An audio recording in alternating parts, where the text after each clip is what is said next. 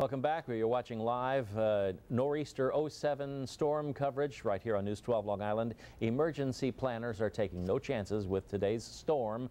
Tonight, the Nassau County Red Cross opened three shelters. Joining us live on the hotline, Sam Killey of the uh, Red Cross of Nassau County. Sam, are you there? Uh, yes, I am. Good evening. Uh, you, uh, good evening. Uh, you had to open three, is it three right now? Three shelters? Yes, right now we have three shelters one at Locust Valley High School, one at Glen Cove High School, and one at Memorial Junior High in Valley Stream. Uh, what, what's the account look like right now? I know a lot of people in Center Island went to Locust Valley. Is that correct? Well, actually, at this time, we have not had anyone uh, come to the shelters and sign up to stay We're at the shelters. uh, so we've opening been up some very lucky. Shelters. So they are available, however, beginning Yes, uh, available. immediately. Yes, they've been available since 2 p.m. Is it okay to take pets there? What's the situation? What's your policy on that?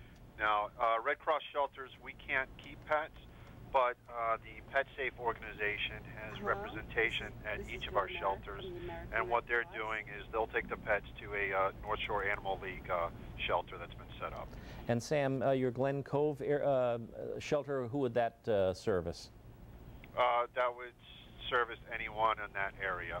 All right, if, if anybody needs to get in touch with you uh, regarding flooding and they need directions and how to get to that, uh, how do they contact you? Well, they can give us a telephone call at 516-747-3500.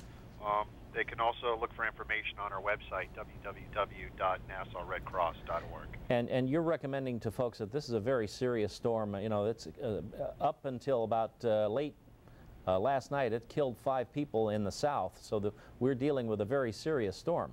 Yes, we've been lucky so far. Um, some of the rain and, and wind hasn't been bad as we thought it would be, but this storm is by no means over. So people should uh, uh, remain cautious in everything they do. Try not to uh, be driving out flooded roadways or anything like that. All right.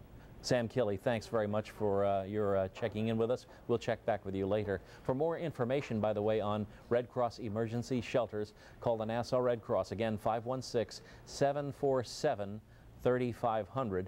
The Suffolk Red Cross is 631 area code 924 6700. Or, and of course,